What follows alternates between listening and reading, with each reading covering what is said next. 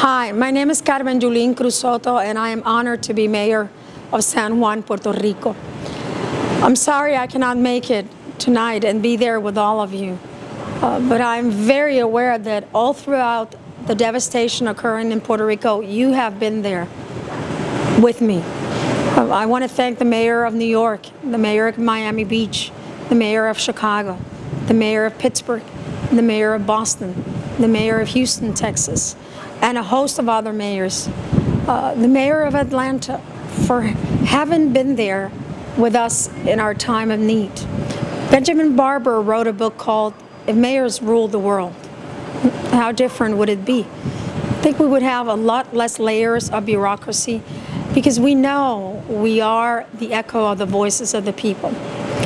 And as I received this award, which is very humbling, especially because of the values that it achieves to put forth. I am reminded that we are all but public servants that carry in our souls and in our jobs more of a calling for public service than anything else. We are the front line of what citizens need. And I will always remember that when we had very little voice, mayors of different cities of the United States were the echo of our voices, and we still need to be the echo of each other's voices. Uh, out there tonight, there are mayors that are fighting for their cities because they are sanctuary cities and are working together to ensure that young men and women from all over have an opportunity to reach out and stay along with their families. So when mayors talk about immigration reform, we're talking about people. When mayors talk about health care for all, we're talking about people. When mayors talk about education and after school programs, we're talking about people. When mayors talk about the right of women not to be sexually harassed, we're talking about people. We're talking about our women and we're talking about our men. And when mayors called for an equal society where LGBTQ members are just humans, just like you and me, we're again talking about people. So I am very humbled and very cognizant of the fact that this award isn't about me.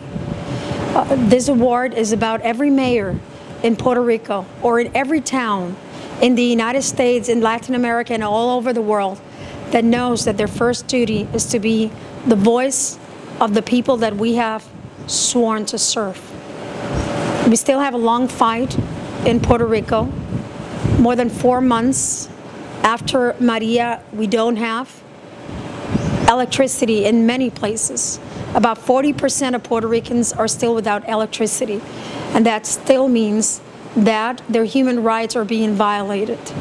So as I accept this leadership award, I am reminded of those who still need for all of us to stand up and speak truth to power. Don't ever forget us, and don't ever forget that we are the voices of our people. We are the voices of our towns.